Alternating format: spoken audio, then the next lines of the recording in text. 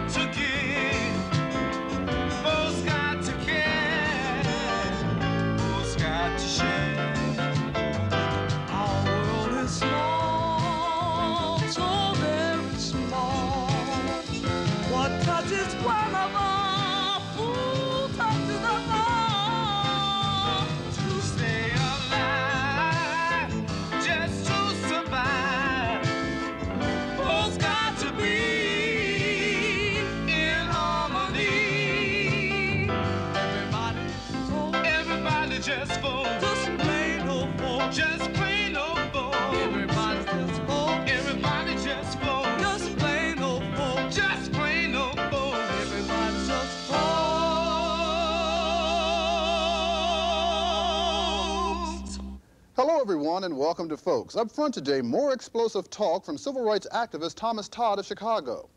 TNT is what we call this story, TNT being dynamite, and dynamite is one word used to describe Thomas N. Todd's address to a group of black lawyers in New Orleans.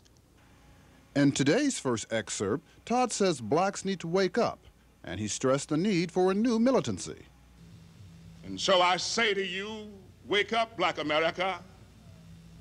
For we must return to a new militancy. Yes, not a new realism, a new militancy. You see, something happened to us. We moved from the streets to the suites. We no longer confronted because we thought we had become a member of the family. In corporate boardrooms and in conference rooms throughout the nation, we were sitting at the table, refusing to confront because we thought we had arrived. We must return to a new militancy and return to confrontations and we must stand up and rise up and say that wherever injustice is in the courtrooms or the barrooms, or the bathrooms or wherever they are that we will confront it that we must confront it. That we must confront it. It is our only hope. Together we will and together we must. Well, what do you two think? Is there a need for a new militancy in the black community? AZ, what about you? What do you think? You know, I've gone through a stage um, where that was absolutely need, uh, militancy that was really needed. And I feel that we have come a long ways in this country. And I don't feel that we need the kind of militancy that will take one's lives or create harm or danger to another individual in this late date. I think the progress that we have made, we need to build on that progress. That those of us who believe in, firstly, a God Almighty, should sit around the table of brotherhood and sit down and talk to our counterparts, the opposition as well, and try to bring these issues to the forefront and sit down and talk about the problems of the day and see if we can make a better tomorrow. I do not see the need of uh, persons um, coming out and trying to destroy one another in this late day. What about you, Rupert? Oh, I think AZ and I think too much alike on too many issues anyway. Perhaps you should have had more diversified personalities here. But he's absolutely right. Militancy, number one, is not a four-letter word people think militancy and they think burning and looting and all of those kinds of things. The kind of militancy I think the speaker was talking about was a vigilance in your career with the young lawyers, a vigilance in trying to fight for equality. That we need. I don't think the day will ever come again for the kind of things that Mr. Young and I have seen. It served a purpose, mind you, at that time It opened America's eyes. It really probed its conscience. I do not foresee ever that we should have to have that kind of America again. Do you think by using the word militancy, he might be alienating a, a lot of people? The ones that are alienated by it perhaps were not with us anyway, because he very much elaborated on the kind of militancy he was talking about. In the ballroom, in the bathroom, the whatever, he made it clear he's talking about fight your battles. And he didn't make any reference to rolling up your sleeves or taking guns. People are offended by that word. Many whites and many blacks are offended by it. But it's because they are looking at everything from a very narrow perspective.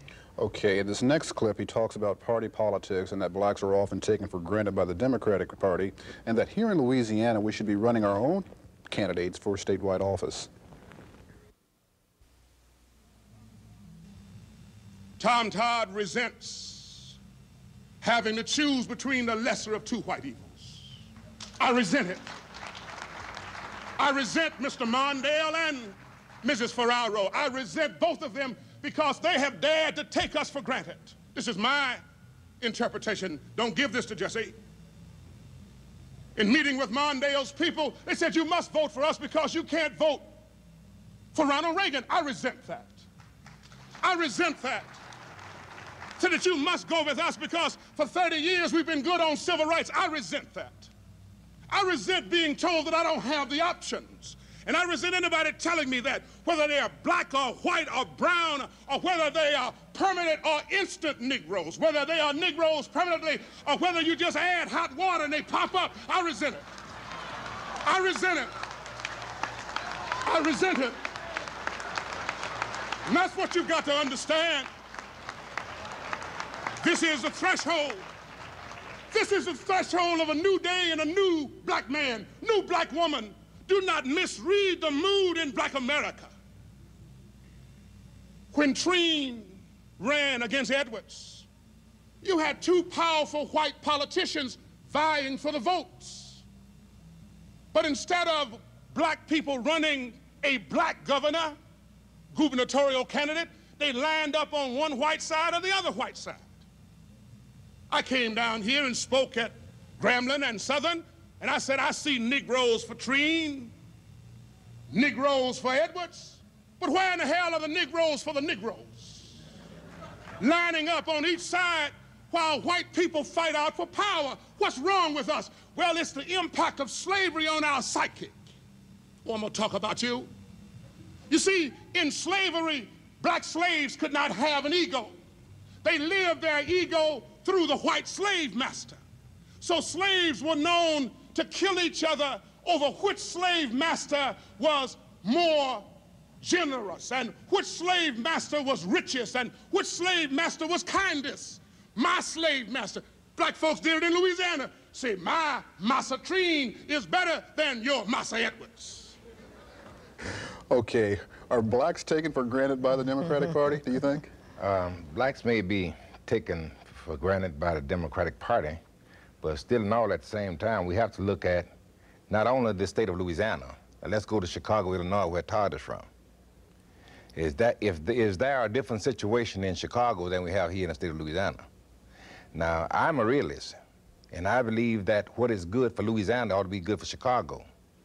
Now, you can't tell me about what we did, black folks did in Louisiana with a Edwin Edwards and a Dave Treen, if you're not doing no better in Chicago. Now, I have to uh, agree that we are mostly affiliated with the Democratic Party. And we have been affiliated with the Democratic Party since the very existence. And we hang to the Democratic Party because of a record that we perceive to be a better record than that of the Republican Party. It's not that it's mandatory that we be in the Democratic or the Republican Party.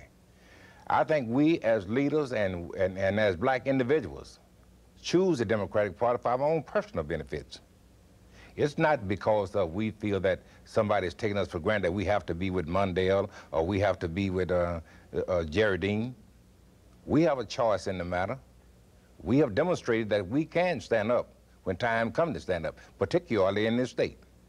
And I personally, uh, just in conclusion, feel that we here in Louisiana are on top of it.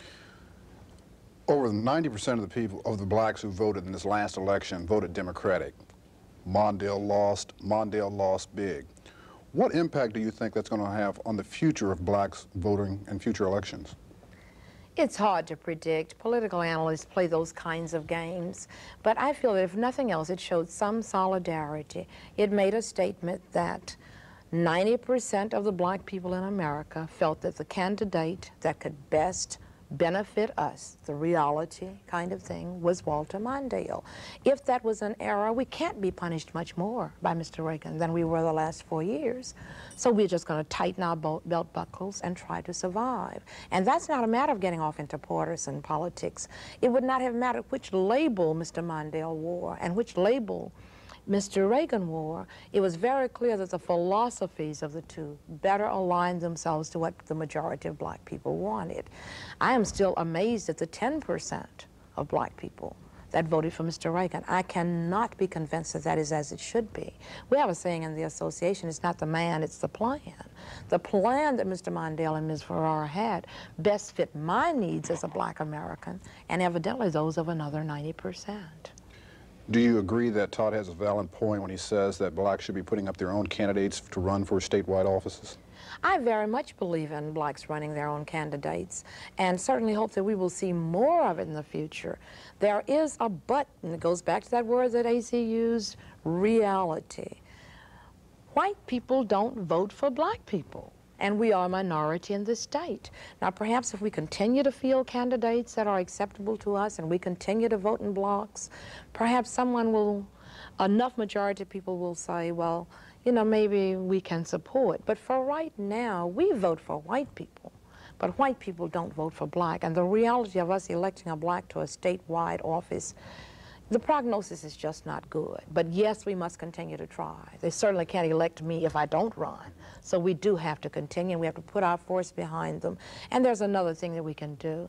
Use that block of votes sometimes to push people into a runoff and then look at what he calls the lesser of the evils among white people and throw our weight that way. So yes, we have to field our candidates, but realistically, it may not happen within the next few years that we'll win. How do you feel, AZ? Well, you know, uh, a statewide race is, is, a really hard race. Mm -hmm. uh, mm-hmm. Ben Jeffers is a good example. Very, very talented, uh, bright young man who ran for Secretary of State in 1979. Uh, one of his biggest problems was money problems. Uh, he did a beautiful job in trying to put together this state, particularly in the black community.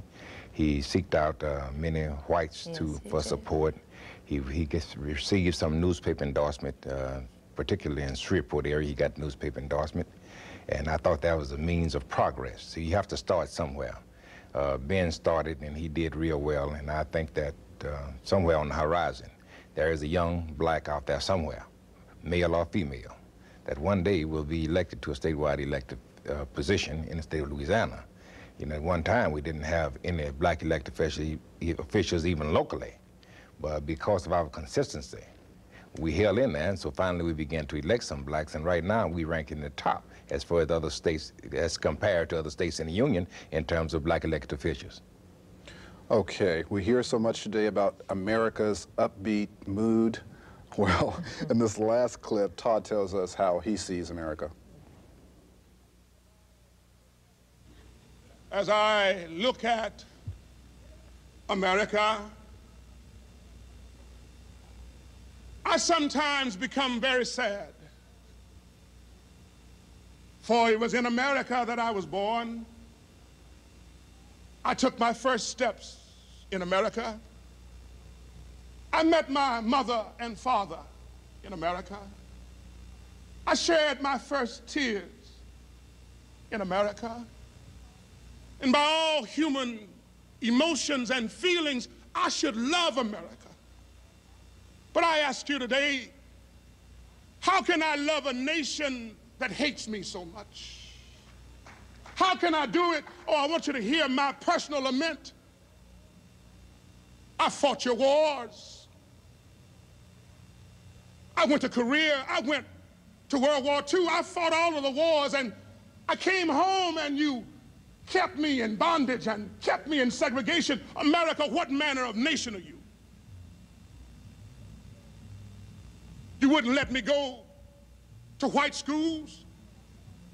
You sent me to black schools that were segregated and that were deliberately deprived. And then when I got an education, you told me I had a second class education. America, what manner of nation are you?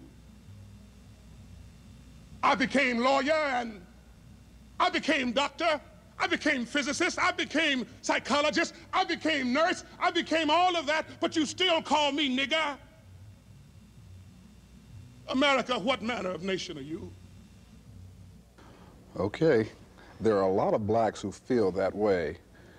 Do you feel that we are really that disliked by white America? And if so, why should we love America?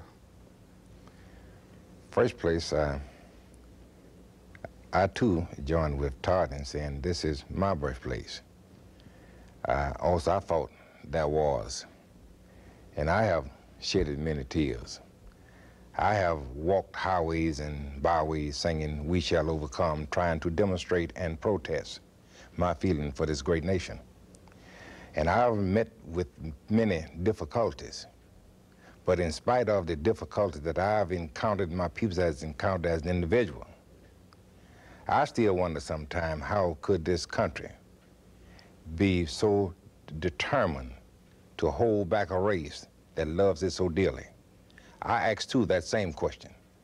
What is wrong, America, when we, the black peoples of this country, probably stand with you and beside you when all has failed, we are there. I have to agree with a great deal of his speech there. Rupert, your thoughts?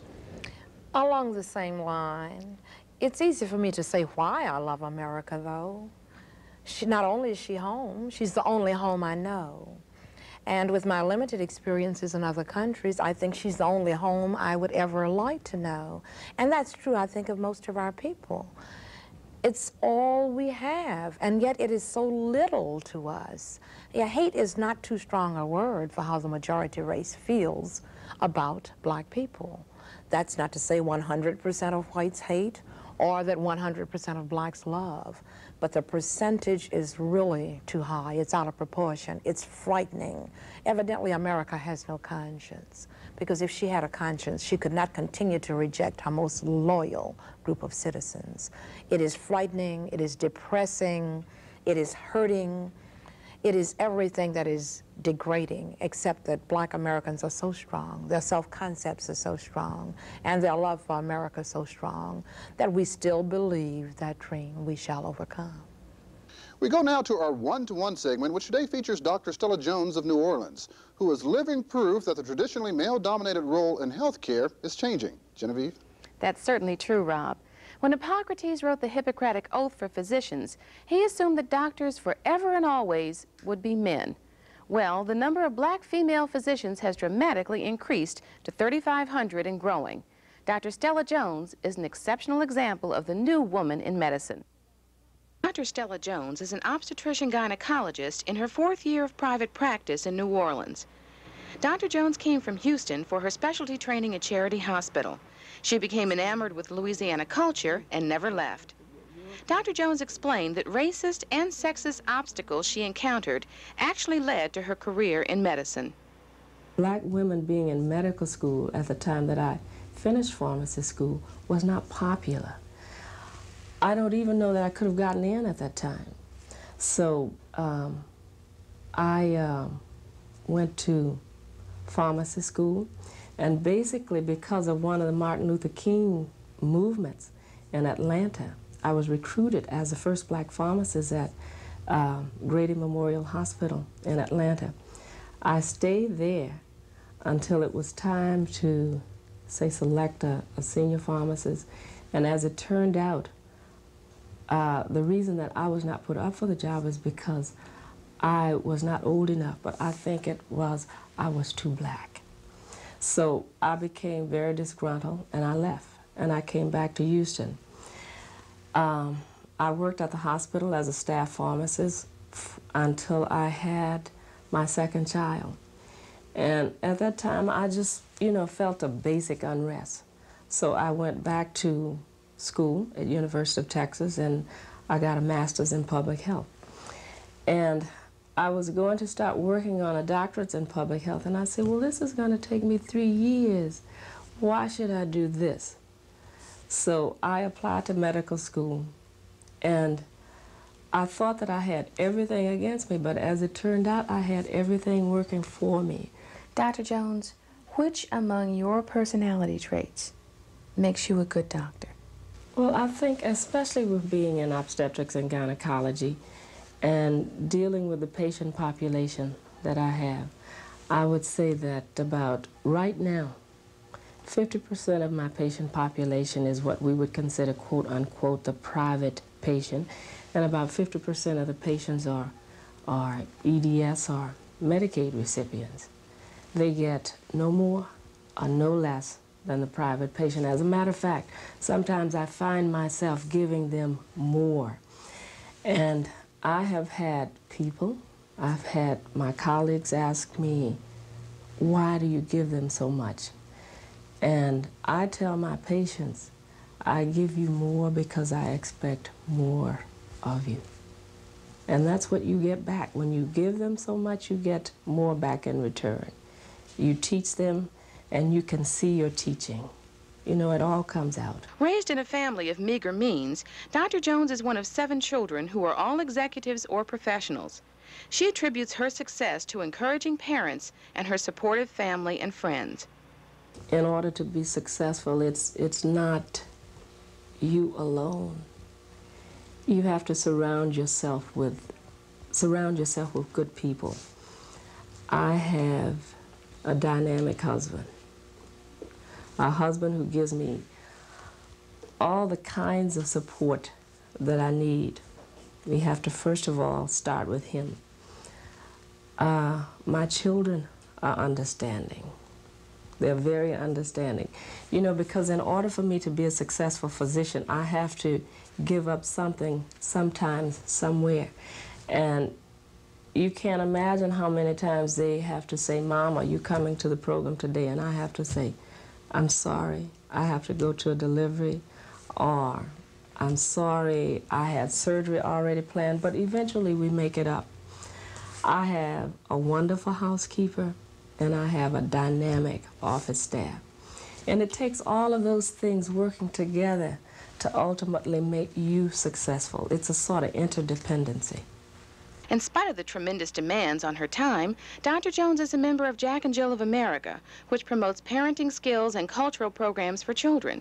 She is a member of the civically involved Suburban Arts Guild, and she serves on the board of directors of the Children's Bureau. Occasionally, she finds time for painting, interior decorating, and the piano. We close today's show by telling you about a pilgrimage some black Canadians made to Louisiana in an effort to discover their roots. They came to Louisiana from North Buxton, Canada by bus, all ancestors of 15 slaves taken to Canada by the Reverend William King. After inheriting them, he didn't want them to, well, he couldn't really free them in the state of Louisiana because they may be uh, seized and sold back into slavery. Uh, detesting slavery the way he did, uh, he felt his only hope and their only survival really uh, hinged upon him taking them out of here and um, going on to Canada, purchasing land where he did buy 4,500 acres of ground. Uh, of course, that large area um, was more, I guess, than what you'd consider 15 people needing. But he was wise enough to realize that uh, being so close to the border of this country, that it was going to become a haven for fugitive slaves, and that it did. Mrs. Smith, who organized the Canadians' trip, first became interested in the connection between Louisiana and Buxton, Canada, while reading this book. This book uh, really has only about a paragraph talking about a plantation owner from Louisiana who uh, inherited 15 slaves. But of course, not liking slavery, he decided to take them to Canada. And um, this is where that story begins. And with me, it was this book. The first stop on the pilgrimage was a tour of the courthouse in Clinton, the same courthouse where Reverend King transacted a lot of his business. I wanted them to retrace Reverend King's route. I wanted them to see buildings uh, that he um, had seen, or to, to visit places that uh, their ancestors um, were familiar with. And uh, that's why I took them to the courthouse first, because Reverend King did uh, transact his business in that very building. And of course, that's where um, we uh, found the will that I had already, you know, pulled together, knew where it was. And of course, the uh, clerk of court uh, was expecting us, so she had it ready. And they were eager to get copies of that will because it did list those slaves by name that Reverend, um, I mean, I'm sorry, that Mr. Farris uh, will to his daughter. And uh, of course, they were able to get those wills. After the stop in Clinton, the Canadians ventured on to a church in Jackson, Louisiana. It was there that we got a chance to talk to some of them. The, the pilgrimage has, has been very fulfilling in that for most of us, it's a first. And, and uh, we really didn't know what to expect. But uh, regardless of what we expected, this has far exceeded our expectations, I'll assure you. And uh, the, the, the, as I say, it, it being a first, we were kind of feeling our way, but as it advances, everybody, because of the, the general nature of the people with whom we've been in contact, it's just like old home week, you know. and uh, everyone, everyone is, is, has really been put at ease, and there's no strained relationships, and, and uh, we're really looking forward to the balance of the pilgrimage. When we started out, you, you don't know just who you're going to meet or all, you know, you feel that you're going to wind up meeting a whole lot of fine people, and certainly we have, and they've gone all out here to uh, make us happy. Was talking to one gentleman in there, he mentioned about being in Victoria, and I'm sure he didn't realize how many miles he was from where we're from. And we're from uh, more the central part. We're in Ontario. He was talking about being in British Columbia area, which is about 3,000 miles, I think it is, from uh, the area that we live in. But we've enjoyed, we are enjoying ourselves, and certainly we know as we get down into New Orleans that it's even going to be greater. You know. My grandfather Newby came from this area, but uh, he didn't, any of his sisters and brothers didn't come along with him, so therefore we've never had any contact with anyone. The night before the pilgrimage, officials at Southern University staged a concert to honor the Canadians. A concert featuring spirituals, jazz, and black Creole songs.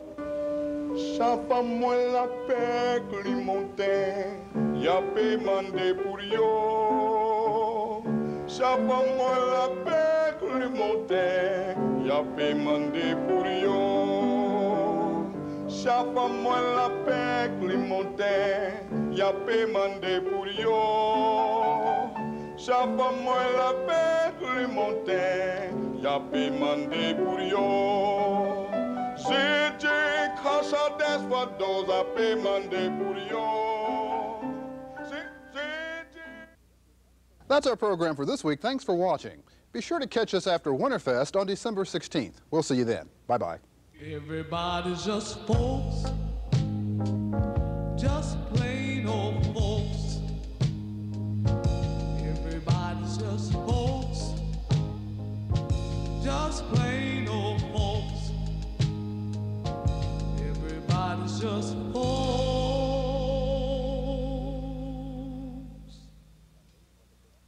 Funding for the production of Folks is provided in part by the Friends of LPB.